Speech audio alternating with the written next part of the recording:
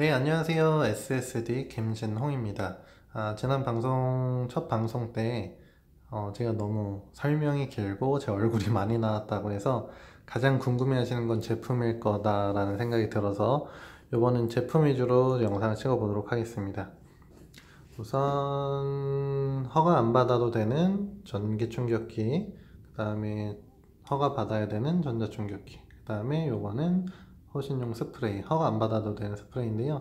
어, 영상을 한번 찍어 보도록 하겠습니다. 우선 요 911 어, 작습니다. 제 손바닥 한 손에 이렇게 들어갈 만한 정도의 사이즈고요. 실제 담배깍 정도 사이즈라고 보시면 되겠습니다. 앞면은 이렇게 생겼고 뒷면은 이제 경찰 허가용 제품이기 때문에 허가를 받으셔야 된다라는 경고 메시지가 있습니다 음, 제품마다 총포화약 안전협회에서 검사를 맡고요. 네, 아, 온오프, 네, 오프에서는 작동이 안 되고 온으로 올렸을 때만 작동이 되겠습니다. 한번 해보도록 하겠습니다. 어, 이 제품이 소리가 굉장히 지금 큰데요. 영상으로 찍을 때, 동영상으로 찍을 때 잘 잡히지를 않습니다. 그래서 이게 어느 정도 소리가 큰 건지 비교를 해보기 위해서 어, 허가 안 받아도 되는 충격기랑 한번 해보도록 하겠습니다. 네, 휴대폰 다음에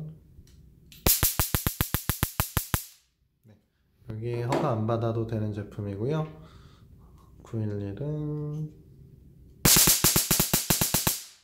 네, 혹시 차이가 느끼, 영상으로도 요 차이가 느껴 잘 전달이 되는지 모르겠네요.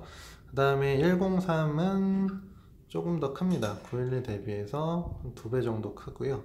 네, 제 손바닥 펼친 거 네, 펼친 거 정도 사이즈 되겠습니다.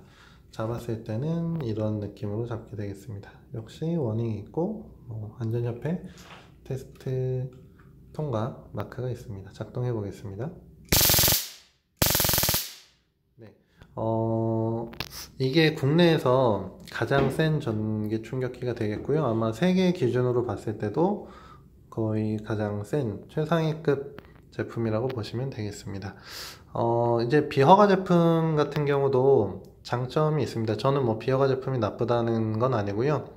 10mA라는 위력의 그 기준이 있기 때문에 어, 네, 그 용도에 맞게끔 사용하시면 되겠습니다. 좀 가볍게 어, 사용하실 거면은 비허가 제품. 그 다음에 어, 좀 많이 뭐 정말 안 좋은 경험이 있으시거나 좀 정말로 좀 강력한 파워를 원하실 때는 허가 제품 네, 사용하시면 되겠고요.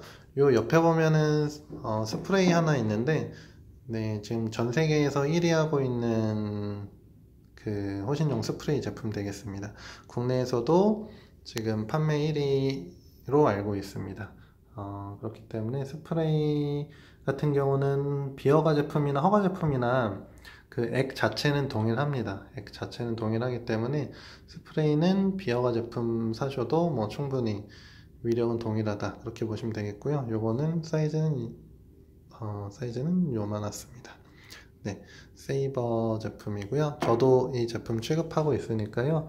원하시는 분들은 어, 네, 문의를 주시면 되겠습니다. 네, 이상 오늘 방송 제품 리뷰 마치도록 하겠습니다. 감사합니다.